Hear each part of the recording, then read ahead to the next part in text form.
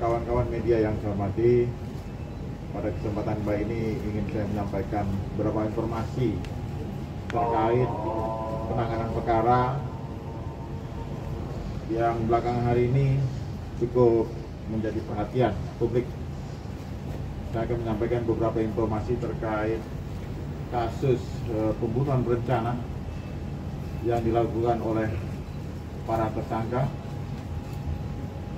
Ada dalam pembunuhan berencana ini ada lima berkas perkara atas nama MS, PC, RR, RE, dan KW. Lima tersangka ini setelah kami menerima berkas perkara dari penyidik, beberapa waktu lalu memang kami kembalikan kepada penyidik untuk diperbaiki sesuai dengan petunjuk-petunjuk yang disiapkan oleh jaksa penyelidik.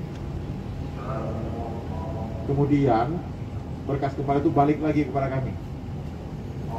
Sesuai dengan ketentuan perundang-undangan, kitab undang-undang pengacara pidana, jaksa meneliti kelengkapan berkas perkara, kelengkapan formil dan material dari berkas perkara itu.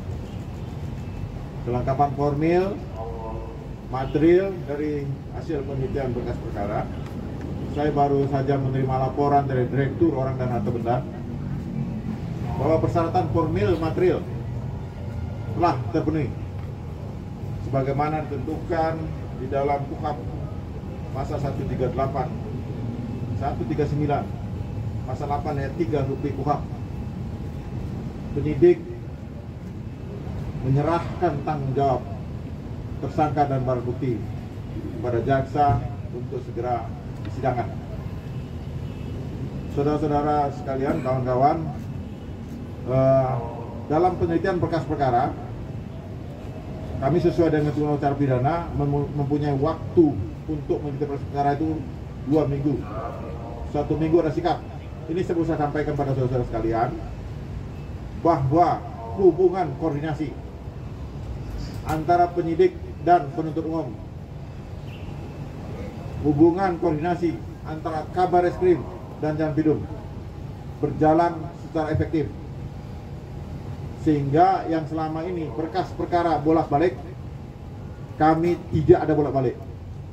Pemenuhan petunjuk melalui koordinasi dan konsultasi yang dilakukan secara efektif antara penyidik dan jaksa peneliti. Sehingga perkara ini pada hari ini kami nyatakan lengkap untuk kasus pembunuhan berencana. Berikutnya uh, ada kasus lain tujuh perkara, tujuh bekas perkara menyangkut kalau saya ikutin media itu ada diatur di dalam KUHP pasal 221 dan 233 yang orang awam menyebutkan sebagai obstruction of justice. Pasal ini disangkakan, ini perlu saya sampaikan kepada saudara-saudara sekalian, adalah karena menyangkut undang-undang IT. Undang-undang IT, Undang-Undang Nomor 19 Tahun 2016. Khususnya pasal 32 dan 33 Jungto 48 dan Jungto 49 Undang-Undang IT tersebut. Kenapa? Dan ini e, karena yang dirusak adalah barang elektronik, bukti elektronik, sehingga kami menyangkakan berdasarkan petunjuk jaksa kepada penyidik dan penyidik memenuhinya, sehingga yang dipersangkakan nanti di yang terberat primer adalah undang-undang IT dan berikutnya kami juga menyangkakan subsidiar undang-undang yang diatur dalam KUHP dan perkara seperti ini perlu sampaikan para kawan-kawan eh, menghalangi proses penyidikan atau merusak barang bukti. Kami telah terbiasa melakukan penyidikan. Sebagaimana ditentukan dilakukan di Jampisus yang menghalangi penyidikan ditentukan pasal 21 Undang-Undang Tindak Pidana Korupsi. Jadi bagi kami hal ini hal biasa dan kami sudah banyak menangani perkara-perkara seperti ini. Uh, dan ini juga berdasarkan laporan Direktur Keamanan Negara dan Ketertiban Umum dan Tindak Pidana Umum lainnya, perkara ini telah memenuhi syarat formil dan material sehingga berkas perkara juga sudah kami nyatakan lengkap formulirnya P21 tentang administrasinya nanti itu tanggung jawab direktur terkait. Kapan dikeluarkan hubungan koordinasi dengan baris krim dengan direktur terkait di baris krim. Tapi secara substansi telah memenuhi syarat formil material. Tahap 2 sudah terjadwal. Saya diperintahkan pada direktur untuk pelaksanaan tahap 2 tidak boleh terlalu jauh dari diterbitkannya video 1 kenapa?